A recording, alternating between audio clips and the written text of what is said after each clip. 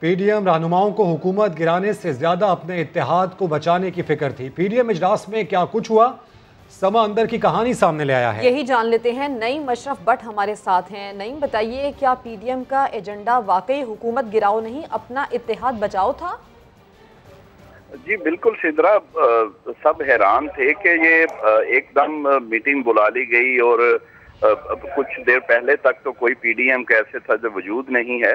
تو P D M جب check کیا گیا مختلف رہنماؤں سے تو پتہ یہ چلا کہ پی ڈی ایم کا مین جو ایجنڈا تھا میٹنگ کا وہ اتحاد بچانا تھا نہ کہ حکومت گرانا، بلکہ کچھ رہنماؤں نے اس حد تک بات کر دی کہ انہوں نے یہ کہا کہ ہماری جو اپوزیشن اتحاد ہے اس کی کچھ جماعتیں ہیں ان کے کچھ لوگ جو ہیں وہ اسٹیبلشمنٹ سے رابطے میں ہیں تو اس لیے ہمارے اتحاد کو خطرہ ہو سکتا ہے، ہمیں ہوشیار رہنا چاہیے اس چیز سے۔ اور کچھ نے یہ بھی مثال بھی دی پیپلز پارٹی اور اے این پی کی کہ پہلے وہ بھی اسی طرح علیحدہ ہوئے ہیں اور اب بھی ہمارے درمیان ایسے لوگ ہیں کہ جن کے اسٹیبلشمنٹ سے رابطے ہیں۔ سب نے یہ کہا کہ ہم نے اتحاد کو ہر صورت بچانا ہے پی ڈی ایم کا یعنی ان کو اپنے وجود کا اب خطرہ پڑ گیا ہے۔ حکومت گرانا یا حکومت کے خلاف احتجاج، وہ تو بہت دور چلا گیا ہے۔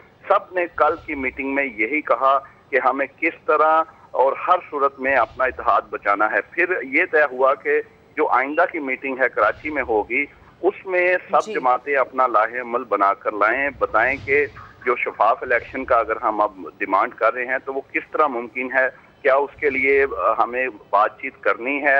جس طرح کہ کچھ کا خیال ہے کہ بات چیت کرنی چاہیے جیسے مسلم لیگ نون میں بھی دو رائے ہیں کہ بات چیت اسٹیبلشمنٹ سے ہو کچھ کہتے ہیں نہیں مزامت صرف رستہ ہے تو یہ سارا معاملہ اگلی میٹنگ میں ہوگا۔ لیکن اہم اور انٹرسٹنگ بات یہ ہے کہ پی ڈی ایم کو اب اپنا ہی فکر لگی ہے اور خطرات ہیں کہ جس طرح پیپلز پارٹی اور اے این پی چھوڑ کے گئی ہے اسی طرح مزید کچھ ایسا نہ ہو۔ اور اس میں سیدھا انٹرسٹنگ بات یہ ہے کہ جب یہ بات ہو رہی ہوگی یا ہوئی ہے تو شہباز شریف بھی وہاں موجود تھے اور کچھ بالکل ایسے لوگ تھے جن کے رابطے ہمیشہ رہے ہیں رہتے ہیں۔